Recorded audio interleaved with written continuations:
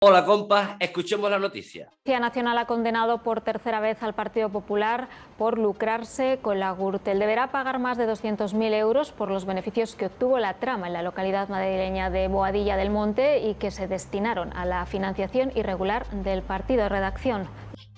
Tres veces condenado el PP por corrupción.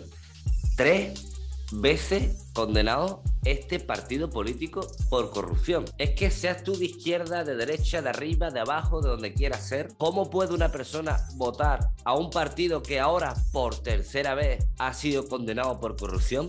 ¿Cómo podemos votar a corruptos? ¿Cómo podemos tener la mente de un súbdito? Porque eso es tener la mente de un súbdito. Votar a un partido político sabiendo que es un corrupto es tener una mentalidad de súbdito, de no tener dignidad ninguna, ninguna. Que por cierto, Fonsi Loaiza decía esto, dice, hoy ha sido condenado a 36 años de prisión por corrupción el alcalde de Boadilla, Arturo González, el albondiguilla, implicado en la trama Gürtel del PP, como veíamos hace nada. Pues bien, su hijo trabaja como asesor para Vox, patriota, sí, patriota de cartera.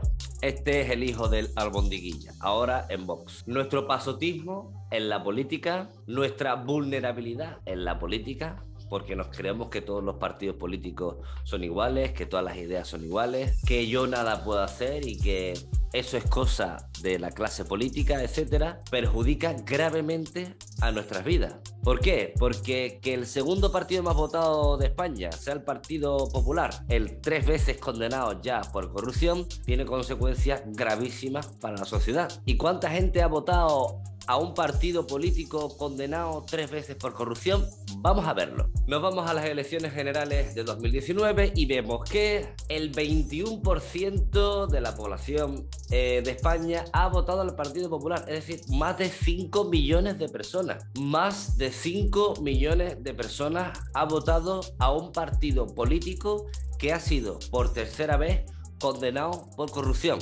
Los problemas que vivimos, tanto de crisis energética, de crisis climática, de crisis ecosocial, problemas de las desigualdades, etcétera, no lo abordaremos nunca, nunca, si seguimos votando a partidos políticos corruptos que lo único que pretenden es privatizar toda nuestra vida, bajarle los impuestos a los ricos y meterse sobre llenos de pasta a nuestra costa en la cartera. Y con esto lo digo que el PSOE no lo haya hecho, es decir, el bipartidismo ha estado ahí lucrándose a nuestra costa. ¿Por qué? Por nuestro pasotismo y por nuestra vulnerabilidad. Porque votar a un partido político corrupto nos convierte en súbditos. Y me dirijo a todas esas millones de personas que han votado al Partido Popular a que le den una vueltecita cuando votan a corruptos. Porque eso es lo que son, corruptos. No lo digo yo, lo acaba de decir la justicia. Para más contenido como este sobre actualidad política, no olvides suscribirte. Si crees que nuestro contenido es necesario para generar conciencia, puedes apoyarnos en Patreon. Y nada, por ahora, eso es todo. Un saludo.